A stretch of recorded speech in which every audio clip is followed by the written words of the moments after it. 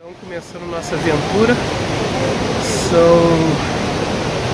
5 horas da manhã aqui em Águas Calientes e pegar o ônibus para ir para Machu Picchu. E a fila já tá grande. Isso tudo aqui a gente esperando. Então, existem basicamente dois trajetos para se chegar até Águas Calientes. É, um é pegar o, o trem de Olaitatambo, que é o que geralmente as pessoas fazem. O outro trajeto é vir de van, de, de condução, é, até a usina hidrelétrica e aí sim pegar um trem no trecho menor. A diferença é que o primeiro trajeto ele é mais rápido e mais caro, e é mais glamouroso, porque é o que as pessoas em geral fazem. E o segundo trajeto, ele é um pouco mais barato e exige que se caminhe. Tem uma trilha inicial de duas horas de caminhada, são 10 quilômetros, que também pode ser feito por trem. E também depois para se chegar aqui. Isso deixa o percurso um pouco mais barato.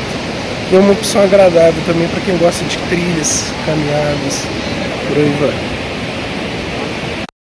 São vários ônibus manobrando. E a fila não acaba. Chegar cedo, ó. Ela vai embora fila muita gente para Machu Picchu.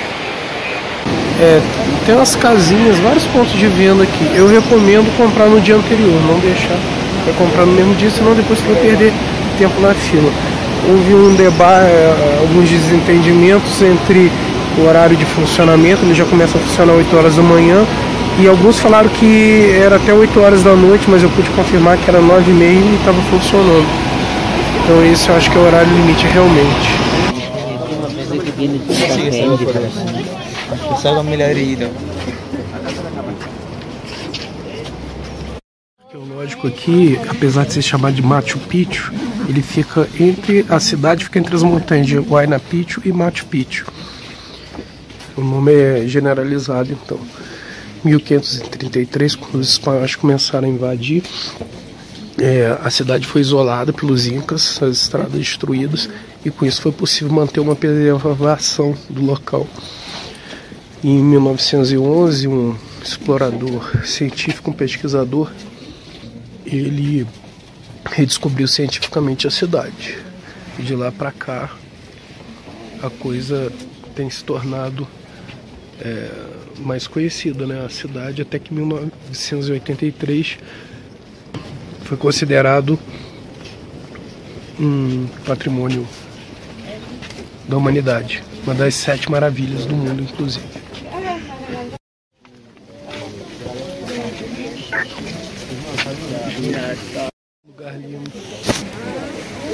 Gente está só começando.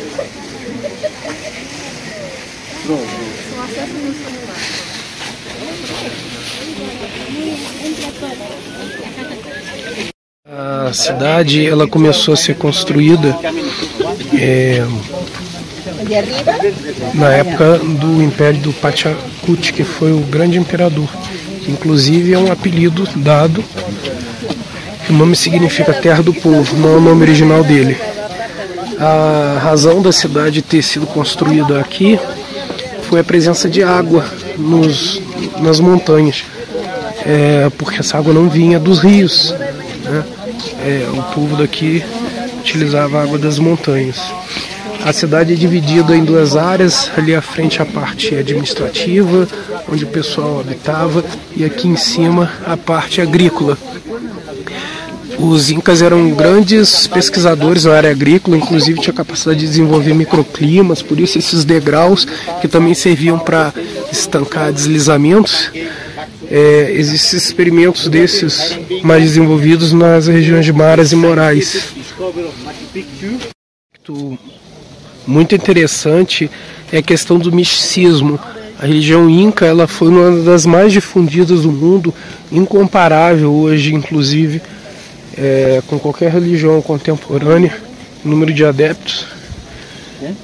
E o misticismo ele se faz presente a todo momento. Por exemplo, a planta baixa da cidade, né, o plano piloto, parece uma águia em posição de voo. E a foto, a imagem da cidade ao lado da montanha de Huayna Picchu, se, se, como pode ver aí na, na imagem, ela parece um rosto inca. O nariz, a boca, né, a ornamentação. Então existe um misticismo muito grande aí relacionado. Discussão se o Templo do Sol ele era um mausoléu, um local de religioso, né, para cerimônias. A razão para ser chamado de Templo do Sol é que aquelas janelas elas permitem a entrada do raio do sol. Um dia é, no solstício, ela faz um, um ilumina o chão de uma certa maneira que é possível identificar aquele dia específico e aí definir a virada do calendário.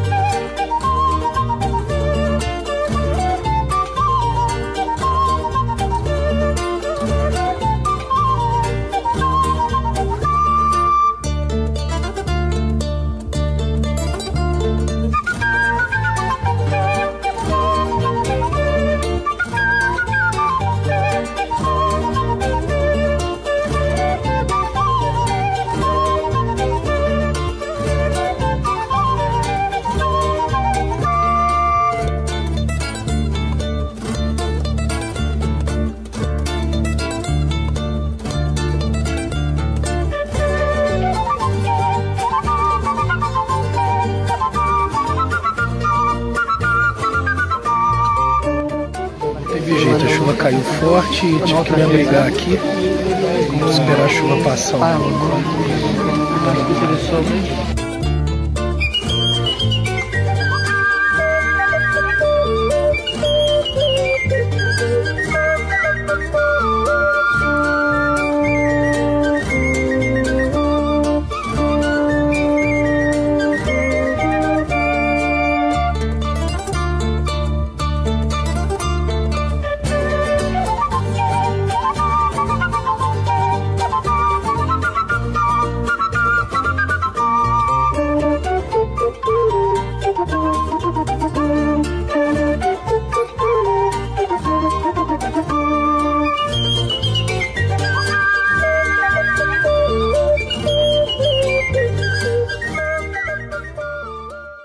Chuva deu uma chiada. Voltamos a caminhar aqui. Chapéu já era, ó. Tá todo esmaguaçado.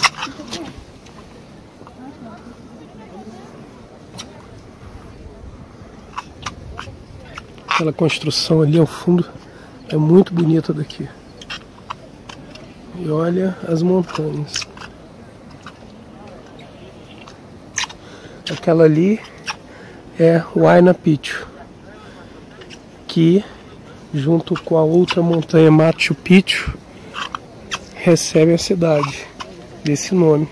E o vale acabou, a cidade acabou recebendo o nome da outra montanha só, de Machu Picchu. Aqui tem umas áreas de abrigo.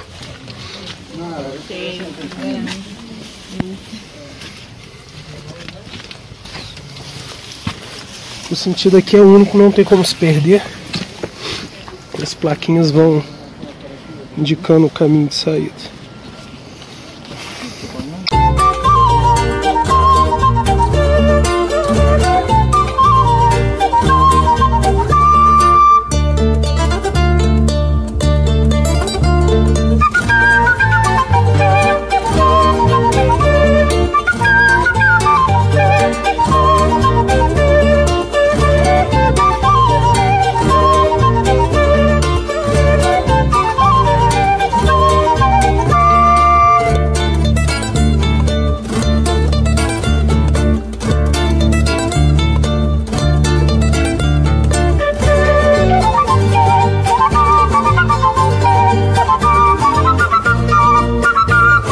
Tinha sol em Machu Picchu.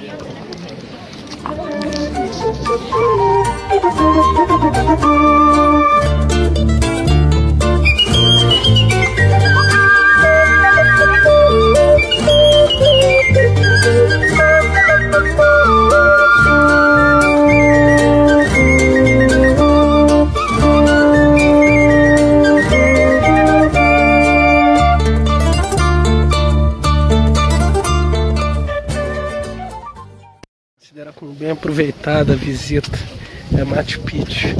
Apareceu agora um sol bonito, as nuvens foram, bem no finalzinho, quando achei que não ia ter mais jeito. Valeu aos deuses incas aí pela colaboração.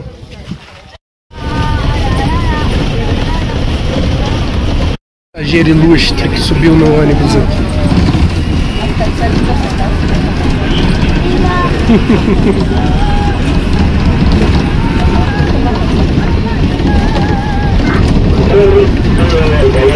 Muito legal. O motorista parou o ônibus, chamou ela, ela entrou, acomodou. hein? Mascote da empresa.